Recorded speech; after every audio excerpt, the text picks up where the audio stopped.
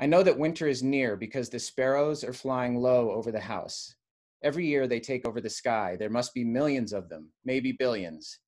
It looks like a big black snake is weaving its way through the sky.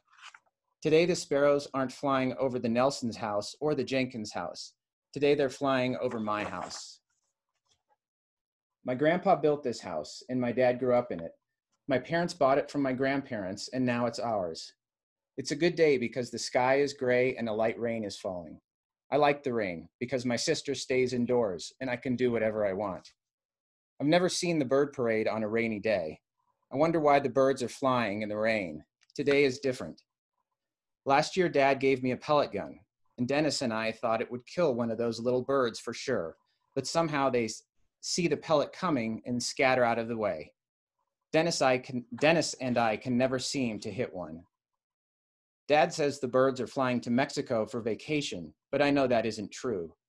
Dad has gone on business this week. If I talk to him on the phone, I'll tell him that the bird parade has started. Dennis has been my best friend since third grade. He's my only friend, really. We're in fifth now and sit next to each other in class. We sit right in front of Miss Weathers. She says she needs to keep an eye on us. Dennis's family's always yelling and fighting, so he comes over to my house after school every day. Together we watch the bird parade. We should try to kill a bird today, I said.